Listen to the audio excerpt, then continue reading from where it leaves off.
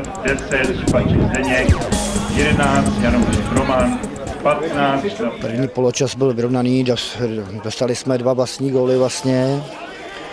Chlupice jako první půle byl jako to vyrovnaný opravdu na obě strany, ale druhá půle dali jsme góla na 3-2, že jo, z penalty.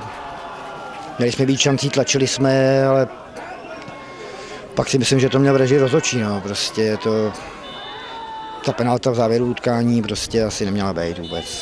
Zápas, jako bylo to klasic, klasicky jak na houpačce, jsme vedli brzo 2-0, vypadalo to, že ten zápas máme absolutně pod kontrolou, asi trošičku jsme pak upustili od aktivity, kdy to bylo 4-0 ze začátku nebo do 30. minuty, místo toho byl 2-2 poločas, a byli jsme psychicky dole, snažil jsem se v kabině to trošku odlehčit. Bohužel jsme byli víc nervózní než Krč, když jsem říkal, že Krč musí vyhrát, my to máme víceméně ve svých rukách, že náskok 7 bodů, druhou půli Krč si myslím, že byla lepší.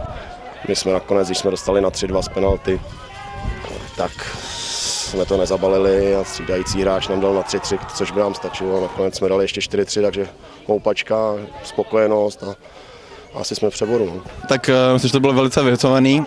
Na začátku jsme měli více té hry my, to se samozřejmě projevilo i v druhé půli, kde uh, Krč uh, měla více hry a, a můžu říct teda, že mohla přidat ještě nějaký další gól, což teda potom uh, se ukázalo při penaltě, kde to bylo potom na 3-2, která byla asi zasloužená.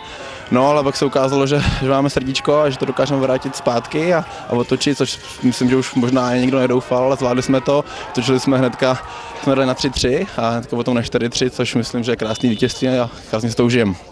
Pro nás to byl jeden z nejlepších zápasů téhle poloviny sezóny a uh, dá se říct, že z druhé strany to musím zhodnotit tak, že se asi oba byli dost nervózní a my jsme se snažili nějakým způsobem vymýšlet něco jednoduchého, aby jsme jenom překvapili obranu a, a nedostali nějaký hloupý gól. Dali jsme si ty góly prakticky sami, jeden odražený balón přes záda, golman už nemohl co dělat, čekal na druhou stranu. Ten Druhý gol jsem tečoval já přes nohu, buď jsem to mohl pustit, nebo tam spadlo do opravdu oba dva si dá se říct darovaný náhodný gól, je šťastný. Škoda hodnotit poslední standardku, opravdu stál jsem od toho půl metru, odkopával jsem to, je to škoda, že nějakým způsobem ten rozhodčí dokáže ten zápas tak ovlivnit. 3-3 by byla sympatická, sympatická tečka za tímhle tím zápasem, aby ty týmy si řekli, OK, jsme oba stejný a teď už se dějí vůle boží a můžeme postoupit my nebo vy.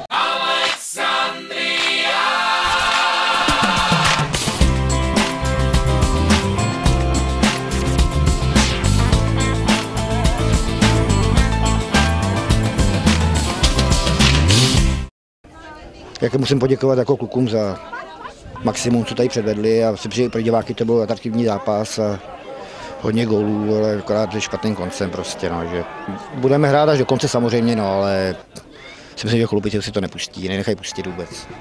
A, tak a, asi nikdy neříkej nikdy, ale myslím si, že už teďka jsme si to měli uhrát, protože 10 bodů už je velký náskok a, a v soutěži jsme ještě jednou neprohráli, tak já věřím pevně, že to zvládneme. Určitě budeme potřebovat já si myslím tak dva hráče, záleží, my hrajeme momentálně ve 12, ve 13 hráčích, protože se nám dva kluci zbláznili, Roman Janoušek hrál dneska vlastně, kromě prvního zápasu, kdy hrál 20 minut, tak dneska hrál po šesti zápasech znova 20 minut.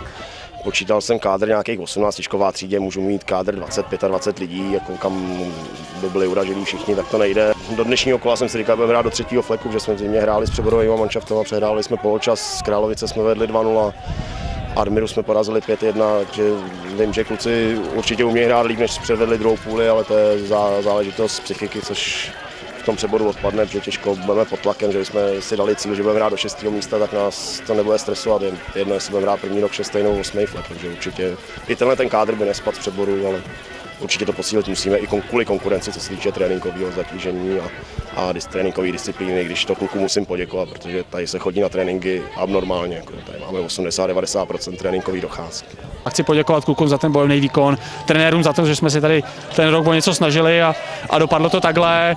A jsme doopravdy šťastní, že ten tým se takhle sešel a měli jsme na to postoupit do přeboru, vidíme, co se bude dít, jestli ještě budou postupovat a můžeme na to spolíhat, nespolíhat, ale chtěli bychom tam hrozně moc.